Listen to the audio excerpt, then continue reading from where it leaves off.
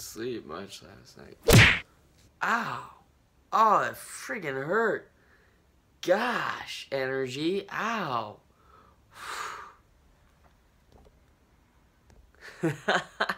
Alright, guys, thank you for tuning in to another episode of the Logan Tyler Nelson Show. Where in this video, I'm going to show you how to get some energy hacks going in your life. Uh, especially if you only got a little bit of sleep last night. Especially if you got like a 20 page essay due that was actually due yesterday. Um, or if you've just got a lot of trouble focusing in your life and you got no energy and you didn't sleep good last night, like I said earlier, this video is for you. So keep on watching. So first things first, please do not sit down at all if you don't have a lot of energy.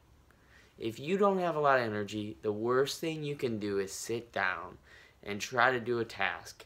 Please try to do it standing up. If you have the ability to do that, it'll help you so much in the end. So, I mean, there's there's a lot of a lot of offices with these small little cubicles, something that looks like this, right? You can simply set your laptop on that little corner right there or you can simply type on your phone if you got an email that you got to type out and re return to someone. You can even write up your entire essay. I guarantee you're faster at writing on your phone nowadays than you are writing on a computer. I mean, some people, it's debatable that you're faster on your computer, but I bet you anything that you're pretty fast on your phone too. So there's no reason to be sitting down and doing your work. Standing is going to help you think more clearly to get a task done. And it's going to keep you energized if you do it that way. The second point I want to talk to you about is if you're feeling tired, do mini workouts throughout the day. Like take 5 to 10 minutes to do a mini workout. I personally like doing 40 jumping jacks, 30 ab crunches, 20 little squats, and 10 push-ups. If you can't do that, no big deal. I mean, you, you don't have to do it uh, what Arnold would recommend and put on three plates on one side and then three plates on the other side and then try to squat and, and then call you a little pansy if you can't do it. That's fine. If you can't do that much, that's okay. It's alright to do something a little less, like just 10 jumping jacks. If you can only do 10 jumping jacks, that's also enough. The third thing I want to talk about for an energy hack is meditation. you don't have to actually do meditation for 20 minutes at a time. I personally only do meditation for about two to five minutes. I use a little app called Calm, which is great. You should download it as soon as you can. It's really simple. You just go to the timed meditation and you can do two minutes, five minutes, 10 minutes, 20 minutes and it's pretty cool. It just plays a little ambience of a nice breeze, an ocean, and it's nice because it's timed, and then it gives you a little like message at the end, like, you know, the future only happens one day at a time, or our best thoughts happen when we're in peace, and it's true, because I don't know about you, but oftentimes in the shower when I'm doing my, you know, showering thing, you know, getting getting clean, feeling good, getting hit by Mr. Scrub a Dub Dub. I feel like I get my best ideas. I don't know why, but all that stuff that I consumed during the day, I finally put it at rest, and now great ideas pop up. So if you got a problem in your life, maybe taking some time and doing a little meditation will not just give you energy, but it'll also be the solution to your problem.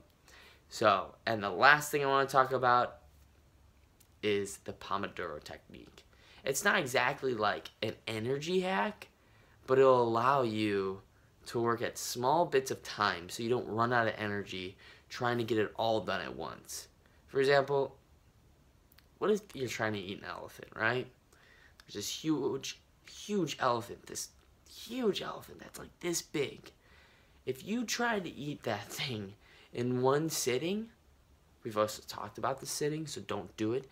But if you did try to eat it in one sitting, it would fill you up, and there's no way you'd be feeling like you want to do anything after doing that. One huge big bite, right? You would not want to move around after filling up your stomach. So if you only did it in like 20 minute bursts, maybe you ate a little bit of this ele elephant for 20 minutes, and then you ate another bit of this elephant for 20 minutes, and then another bit of this ele elephant for 20 minutes, and in between you took like, I don't know, maybe a 15 minute break, you probably would do pretty good. The same thing goes for like writing a huge paper that's 20 pages long. When you work at 20 minute bursts, you're going to be able to get stuff done. And then even set up maybe a reward system for you. Like in between those little 20 minute bursts, you go and look up your favorite music artist and you listen to your favorite song. You know what I'm saying? You listen to your favorite song, you get moved to the beat. Again, that movement's gonna help you out and wake you up. Or maybe you don't feel like dancing. Watch your favorite YouTube video that's gonna make you laugh. Maybe it's my YouTube video. Maybe it's my terrible impression of Arnold Schwarzenegger that makes you laugh. I don't know. Whatever works for you. So to sum it all up, Guys, do not sit. Do your work standing. Do your work standing. And the second one was, do you remember? You guys remember? So it's okay if you didn't remember. So do mini workouts throughout the day. Do these mini workouts. Like I said, the 10 jumping jacks. Get your body moving any way possible to get your body moving. Those short mini workouts are going to be better than a shot of espresso, I promise. The third way is meditation. Take some time to relax, to put yourself at peace. You don't have to do it for more than, a, uh, you know, five to 10 minutes. And your best ideas, I don't know what it is, but they come up at times of peace. Like when you're in the shower, like I said earlier, or when you're just simply doing nothing.